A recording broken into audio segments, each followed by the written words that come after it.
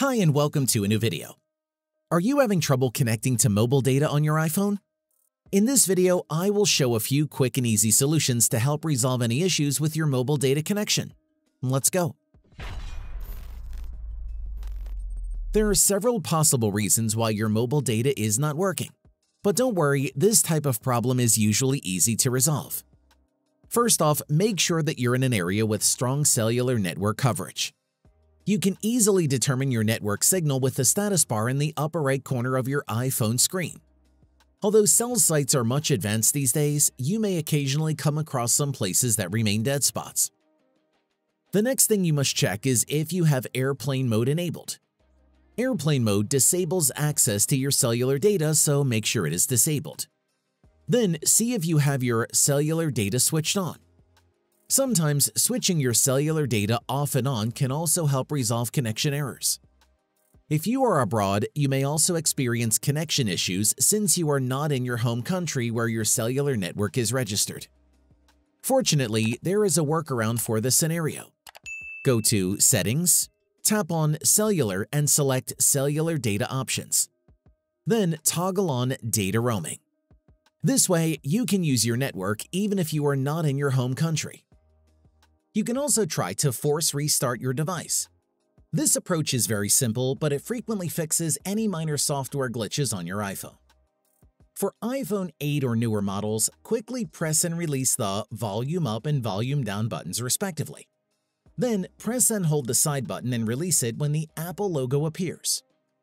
If you're using an older iPhone model, you can refer at the tag in the top right corner or find the link to the Apple support page in the description below to know how to force restart your device properly.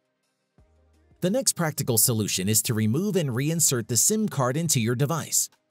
Upon removal from the SIM tray, you may also inspect the card for any signs of damage or tampering. If there are, this explains the readability issue on your iPhone.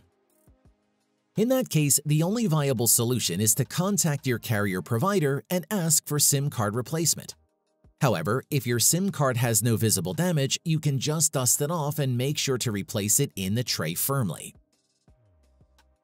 Another possibility why you're experiencing mobile data connection problems may be caused by some outdated features on your carrier settings.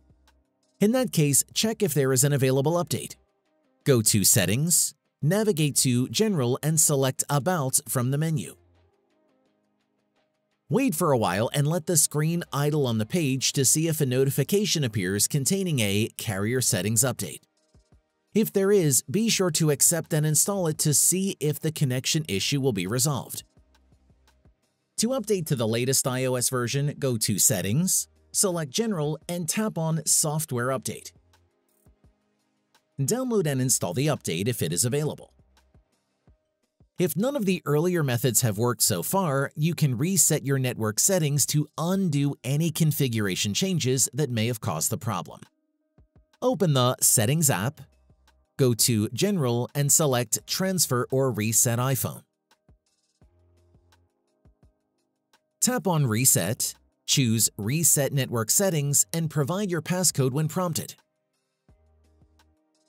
After the iPhone reboots, all your previous network settings including Wi-Fi, cellular, APN, and VPN configurations will be restored to factory defaults. Hopefully, the network problem should now be resolved.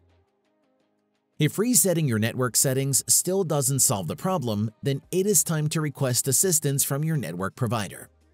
This is because the connection issue may not be a simple network or software problem anymore and there is a possibility that your SIM card is compromised. And that's it. If I could help you, feel free to give this video a thumbs up and don't forget to subscribe. Leave a comment down below if you have any questions. See you next time. Bye.